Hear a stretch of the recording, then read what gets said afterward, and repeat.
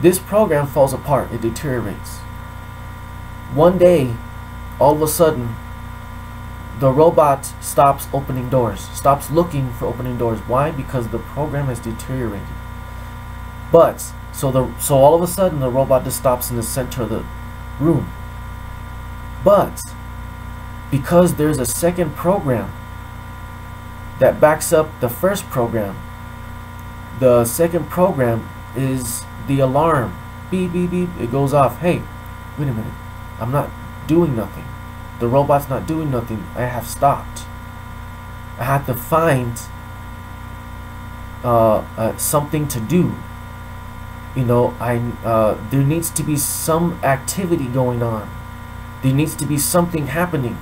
So there needs so uh, in a way, in another idea, in a uh, in a nutshell, this I second idea that I have is that a program should be packed up backed up by a program that when one program fails or deteriorates or uh, motor function or whatever in the human brain, the backup program uh, basically uh, nudges the robot to to basically just keep going and try to find and keep keep doing and doing, you know.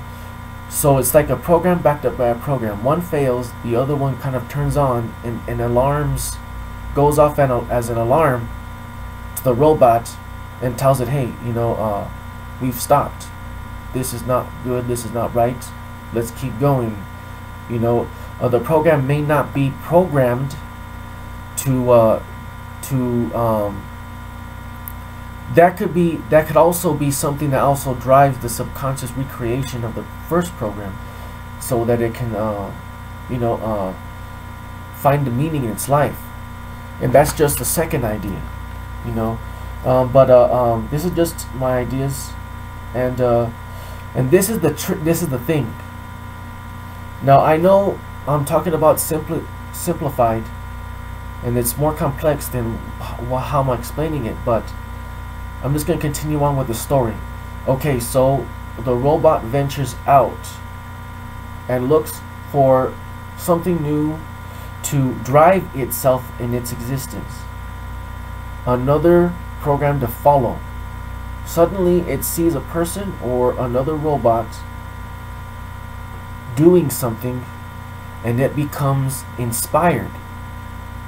Just like a human being. Sometimes a human being loses faith, loses direction, and then all of a sudden it sees another person do something that inspires them, that reignites something within them that awakens something within them that perpetuates that perpetuates perpetuates them again that lifts their spirits. Just like a human the robot and the human are very similar.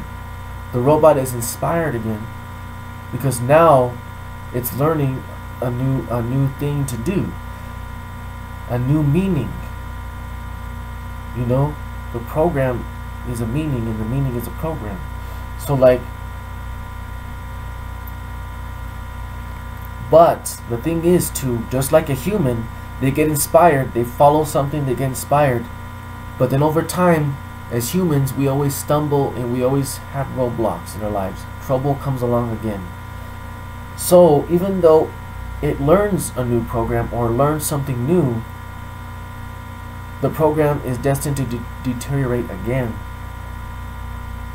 And eventually leads to fall apart and return to the original and the robot returns to original state that it was from the first deterioration of the first program.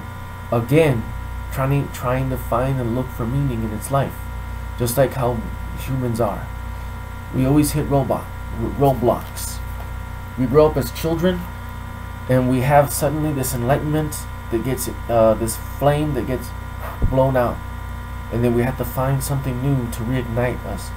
And then we get the match lit again this this faith lit up again and then later on a few years later it gets blown out again.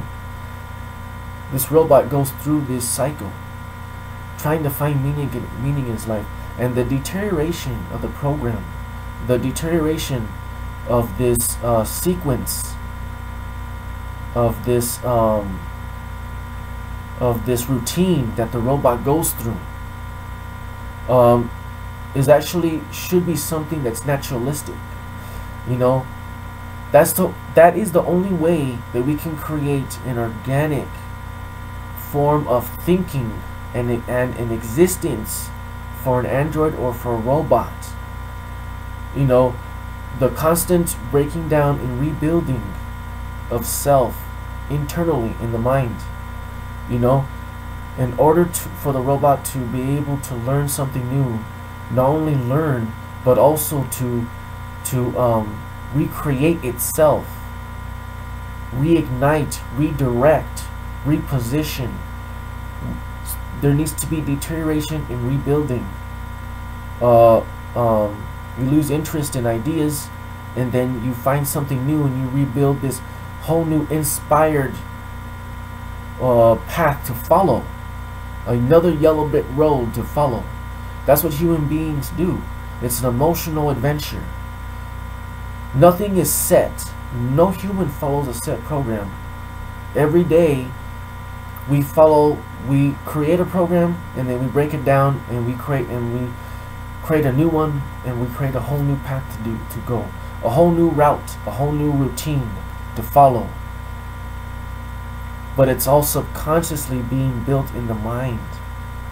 Something drives us that we're not aware of, that we're creating in the back of our minds, meaning. That's what the robot needs to do. Subconsciously, there needs to be something going on. Not just the forefront programs that tell it to open the doors, but there needs to be other program, something else, other programs in the back of its subconscious that drives its instinct and drives its and perpetuates its existence as an individual that drives its thought process how it lives. And uh, I'll give more ideas uh, later on of my theory of how we can achieve artificial intelligence later with other videos but I just wanted to share this one. And I really do feel that this can lead to something to a more of organic, naturalistic uh, that uh, path to finally achieve artificial intelligence, self-conscious, self-individual, self-thinking, self-creating android robot, the holy grail of robotics. This Ricky Cespedes. Thank you very much.